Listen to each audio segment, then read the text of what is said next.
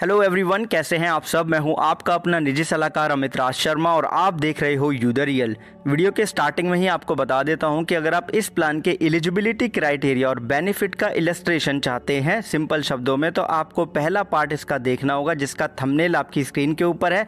ये वीडियो आपको life insurance playlist या वीडियो के एंड कार्ड में इसका लिंक मिलेगा, आप जाकर के देखिएगा। तो अब आगे बढ़ने से पहले आपको बताना चाहता हूँ कि चैनल पे हर एक वीडियो आप ही के सुझाव और प्रश्न के अनुसार आती है। अगर आप चैनल को सब्सक्राइब करके ऑल नोटिफिकेशन बेल पे क्लिक कर लेंगे तो इससे जो भी वीडियो आपके प्रश्न के अनुसार आएगी या लेटेस्ट इन्फॉर्मेशन आएगी, वो आपको समय पर मिल जाएगी। तो सब कुछ समझने के लिए शुरू करते हैं एग्ज़ाम्पल से। 30 साल की उम्र ले ली हमने श्रीमान एक्स वाई जेड की और यहाँ पे जो प्रीमियम रेट है 30 साल की उम्र पे एक हज़ार रुपए के सम अशॉर्ट पे तेईस रुपए सत्रह पैसे पे करने होंगे। तो उस हिसाब से दो दशमलव तीन एक सात प्रतिशत हो गया, दस लाख का सम अशॉर्ट ले लिया। पॉलिसी टर्म है, यहाँ पे सौ में से घटाएँगे एंट्री एज तो सत्तर साल का पॉलिसी टर्म होगा क्योंकि होल लाइफ का प्लान है। होल लाइफ कवर इसमें रहता है। प्रीमियम पेमेंट हमने ले लिया बीस साल का तो सालाना प्रीमियम जाएगा यहाँ पे तेईस हज़ार एक सौ सत्तर रुपये अब मान लीजिए कि श्रीमान एक्स वाई जेड ने यहाँ पे छः साल लगातार प्रीमियम पे करा और उसके बाद इनका मन करता है कि मैं पॉलिसी ख़त्म कर दूँ सरेंडर कर दूँ। तो ऐसे में ये जब तक छः साल तक लगातार प्रीमियम पे कर रहे होंगे तो एक लाख उनतालीस हज़ार बीस रुपये पे कर चुके होंगे। और पॉलिसी का नियम कहता है कि दो साल लगातार प्रीमियम पे करने के बाद में अगर किसी को पॉलिसी सरेंडर करनी है तो वो ऐसा कर सकता है। जब अब जानते हैं कि सरेंडर करने में कितना लॉस होगा यहाँ पे। तो देखिए अब यहाँ पे हमें इसका फॉर्मूला ऑब्वियसली बात है सिलेंडर वैल्यू का फॉर्मूला होता है। उसमें हम क्या करते हैं, जो गारंटेड सिलेंडर वैल्यू फैक्टर होता है, उसका हम गुणा कर देते हैं टोटल पेड प्रीमियम में, जो बेसिक प्रीमियम होता है। इस इस प्लान के अंदर लोडिंग चार्ज को भी इंक्लूड किया गया है। राइट और उसके बाद में इसमें ऐड किया गया है guaranteed cash of accrued paid up addition अब ये गारंटेड कैश वर्ड यहाँ पे इसलिए यूज़ हुआ है क्योंकि अगर आप बोनस ऑप्शन नंबर थ्री जो कि परचेज पेड अप एडिशन है, लेते हैं तो ये ऑटोमेटिकली यहाँ पे इनबिल्ड हो जाता है, ये बेनिफिट इसी वजह से यहाँ पे गारंटेड शब्द यूज़ किया गया है कैश बोनस के केस में. अब सरेंडर वैल्यू फैक्टर को समझ लेते हैं पहले साल पे.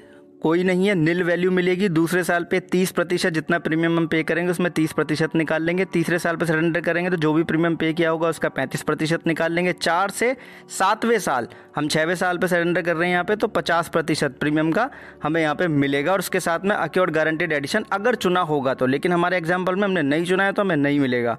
तो एक लाख उनतालीस हज़ार बीस रुपये का अगर हम पचास प्रतिशत यहाँ पे निकालेंगे तो यहाँ पे आपको देखने के लिए मिलेगा कि उनहत्तर हज़ार पाँच सौ दस रुपये का सरेंडर वैल्यू मिलेगा। अगर आपने फ़र्स्ट पार्ट देखा होगा तो हमने उसमें पेड इन कैश मतलब कि जो बोनस जो हर साल अनाउंस होगा राइट वो कैश के रूप में मिल जाएगा आपके अकाउंट में। दूसरा था यहाँ पे प्रीमियम ऑफ़ सेट ये दोनों ही एग्ज़ाम्पल हमने समझे थे तो इस केसेस में केवल हमें जो हमारा जो प्रीमियम पे किया होगा, उस पर सरेंडर वैल्यू अप्लाई होकर मिल जाएगा। और प्रीमियम ऑफ़ सेट को भी हमने पहले ही पार्ट में यहाँ पे उदाहरण के साथ में समझाया था तो वो पार्ट आप जाके ज़रूर देखिएगा। बाकी अगर आप पेड अप एडिशन लेंगे तो वो आपको मिल ही जाएगा। अब हम यहाँ पे जान लेते हैं कि अगर हम आठवें साल पे जाके आठ साल के बाद में जाके सरेंडर करते हैं पॉलिसी को तो यहाँ पे क्या होगा? पहले साल पे, दूसरे साल पे और चार से सातवें साल तक तो हमें समझ में आ गया कि कितने प्रतिशत मिलेगा। आठवें साल पे सरेंडर करेंगे, उसके बाद करेंगे तो क्या होगा? यहाँ पे लिखा मिनिमम ऑफ़ तो मतलब यहाँ पे दो यहाँ पे फैक्टर बताए गए हैं।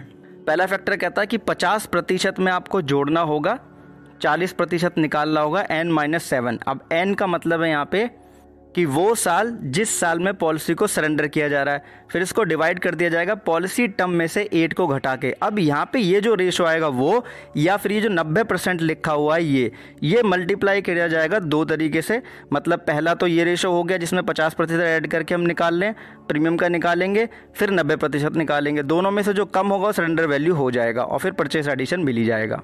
अगर चूज़ किया होगा तो।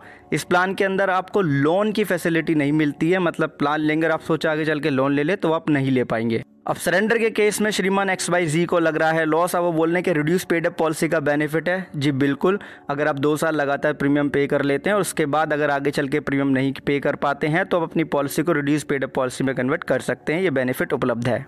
सेम हमने यहाँ पे एग्जांपल ले लिया, दस लाख का शमर सौ सत्तर साल का प्रीमियम पेमेंट टर्म तेईस हज़ार एक सौ सत्तर रुपये प्रीमियम पे कर रहे हैं, बीस साल का प्रीमियम पेमेंट टर्म तो अब हमें रिड्यूस पेड अप पॉलिसी का बेनिफिट जानने के लिए किस चीज़ की ज़रूरत पड़ेगी यहाँ पे?